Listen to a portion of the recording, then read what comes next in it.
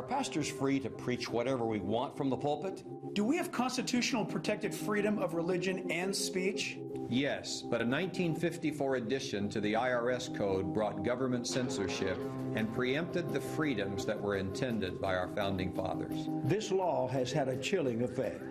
Pastors, responding in fear, began to self censor.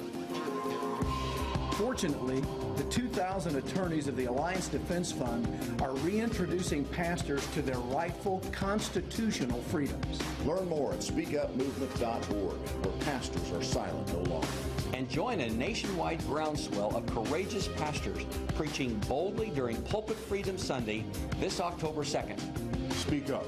Boldly, freely, and biblically.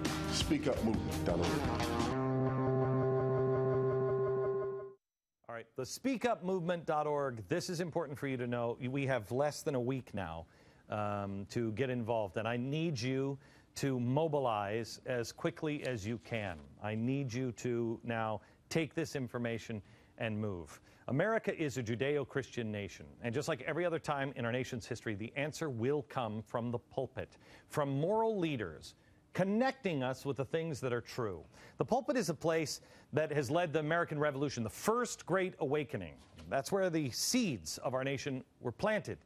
Men like George Whitefield, the spiritual grandfather of the American Revolution, one of the greatest evangelists of all time. It was this that led to the American Revolution. It was also the pulpit that led to the abolition of slavery. Abolitionism in America, the second great awakening, massive religious revival. The American abolition, uh, abolition movement was, uh, to great extent, the political arm of the massive religious revival, the second one. Third one, the um, uh, end of that first was the uh, civil rights movement and Martin Luther King. It was this Baptist pastor, his philosophy of nonviolence based in Christian teachings, Reverend Billy Graham refused to uh, permit segregated seating at his crusades. He invited MLK to share the stage with him during the crusade at the Madison Square Garden here in New York City, 1957. We've had great awakenings. It is time now for the last one, and I believe we're in it. In 1954, when Lyndon Johnson passed the Johnson Amendment as part of the 501c3 tax code, there wasn't a, it was just a voice vote. There's no records of this even. This is where the freedom of speech or the freedom to preach became an issue. He had the language added to the tax code because he was running for reelection in the Senate, and secular nonprofit organizations led by businessmen were opposing him.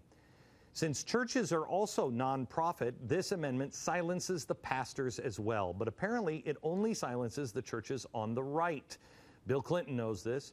Reverend Jeremiah Wright knows this. Obama knows this. They all feel free to make endorsements from the pulpit on churches from the left. I warn you, this network doesn't edit language. When people are using language for a reason, I'm not going to apologize for them. I need you to hear their language. Warning, shocking language in this montage. You know, that, of course, that I'm in North Carolina because you have an election on Tuesday. I'm very proud of my wife and I'm very proud of our daughter and I'm very proud of the uh, campaign that uh, that Hillary has made. Hillary was not a black boy raised in a single parent home. Barack was. Barack knows what it means to be a black man living in a country and a culture that is controlled by rich white people.